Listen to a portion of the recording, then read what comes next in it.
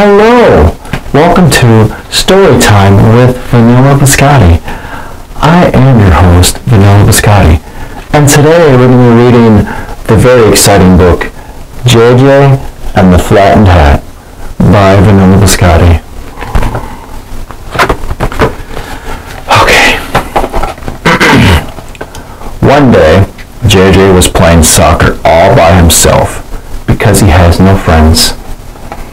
I wish I had a friend, said JJ. Just then, Mr. Tallhat pulled up in his green truck. Mr. Tallhat said, Hello, JJ, my boy. JJ said, Wow, your hat is very tall. I need you to watch my hat because I'm going to dinner and the hat is too tall for the restaurant. You can count on me, said JJ. Then Mr. Tallhat got into his green truck and drove away. Just like that, drove away. Wow, this is a very tall hat. It's taller than me, said JJ. All of a sudden, a meteor came out of nowhere and flew.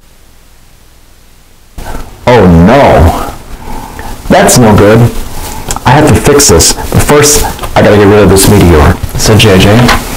And so, with super plane strength, JJ the park. I just flatten this flattened hat. Look at this. There's the meteor, there's JJ. Good stuff, good stuff. And so JJ picked up the hat and tried to figure out a way to unflatten it. When my tires are I usually use a bike pump to fatten them up again. Let's try that.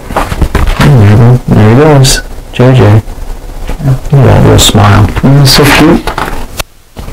So, with this idea in mind, he set out to find the nearest bike pump. Then he pulled up to this guy. Who's that?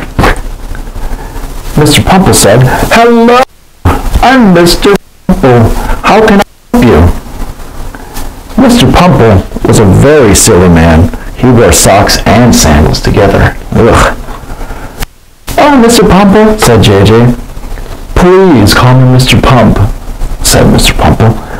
Oh, Mr. Pump, I have this flattened hat. I was wondering if I could use one of your pumps to pump it up again.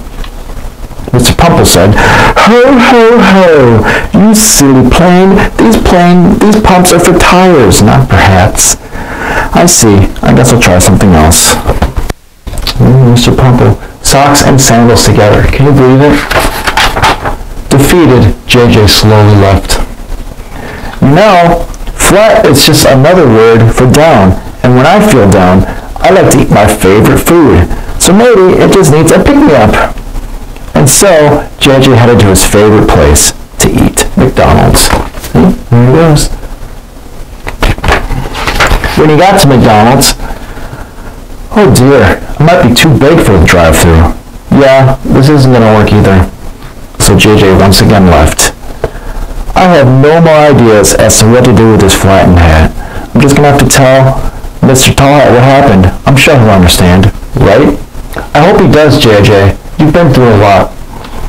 So, JJ decided just to go back to the soccer field and face the music. Here he is at McDonald's. He was going back to, tell Mr. Tallhat. As soon as he arrived, Mr. Tallhat pulled up in his green truck. Mr. Tallhat said, Well, hello, JJ, my boy. How was your day? JJ said, Oh, it was okay. How was dinner? Mr. Tallhat said, Well, JJ, my boy, sometimes a steak is just a steak, and fries are just fries. Enough about that. Let me see my precious hat. Hesitant. JJ. Oh, Mr. Tallhat, um, about your hat. Just as he was about to tell him about the hat, a tornado came and blew both him and the green truck away. Oh boy, how convenient for me, said JJ. See, look at these, look at this illustration here. Look at that. That's top Walmart right there, top Walmart shelf. You got the low tier, top tier, and that's where JJ is up right on, um, on the top there. JJ said, now I have to tell Mr. Tallhat about what happened to his hat, and he won't scrap me for parts. This works out great for me. So, with a big old smile on his face, JJ flew up into the sky, never to talk about the tall head again. The end. What a great, great story. This story has changed my life. I used to be sad and depressed, and then I read this book, and now I'm happy all the time. I smile 24-7 thanks to this book. So, if you're lucky enough to have a couple bucks dollars and you'd like to get one, I recommend it. Five star, it'll change your life forever. I'm getting up thinking about how this book has changed my life. Anyways, hope you enjoyed it. I will see you on the next one. Bye!